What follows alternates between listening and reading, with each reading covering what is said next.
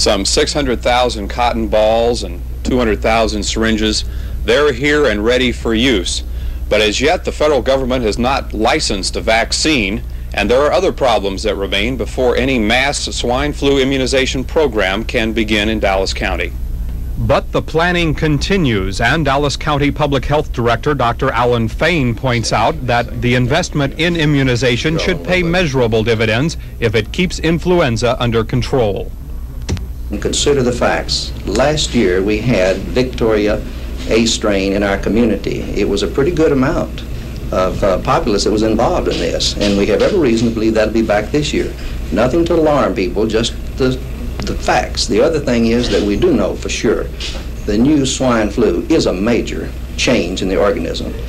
If we look back at the last two epidemics that we had in proportion, we lost 30,000 lives and one time some 50,000. You didn't do it on any other basis, and the cost of those people dying, and some 50 million people were involved in being ill by those disease entities, the Asiatic and the Hong Kong. If further tests of the vaccine show it to be effective and safe, older persons and the chronically ill should be able to get their shots by the end of July, with others getting their vaccine by September. Jim Ruddy, Eyewitness News, Dallas.